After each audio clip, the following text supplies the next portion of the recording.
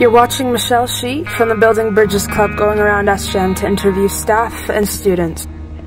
Okay, when I say the word hunger, what do you guys think of? Well, like me at lunch, I get pretty hungry, so uh, I can kind of see how people feel.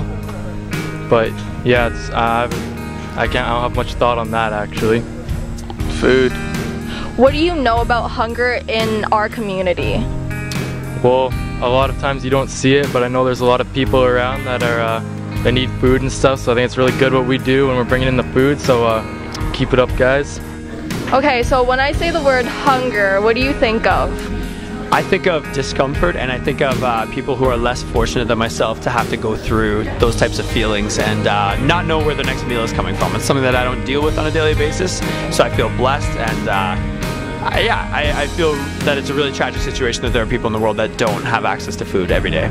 There were five over 500 youth um, under the age of 18 that benefited from the food bank just in Waterloo in one month. How do you feel about that? Yeah, that's a pretty staggering number, I gotta be honest. I, I, I didn't know that, to be honest. I feel kind of naive for having not known that. Um, but when you bring up a number like that of that many people that are in need in our own backyard, uh, it just really calls attention to how important it is that we that we all step up and give what we're able to give to help people in need. That's shocking.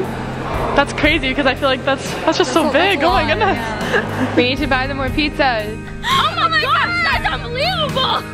I'm I'm not surprised because I know that at our school currently we already have a program going on to feed the students of our own school. So um, I think that is something that we should definitely focus on to try to fix. How do you think we we as a school can help? Um, I think if we raise more money and keep doing like food drives, like really like, yeah. Yeah, definitely. If we step up with our food banks, that'd be unbelievable. We could make a difference. Um, I think we should just have a day where we just promote world hunger. Yeah. Donate food to the Great Canadian Food Fight.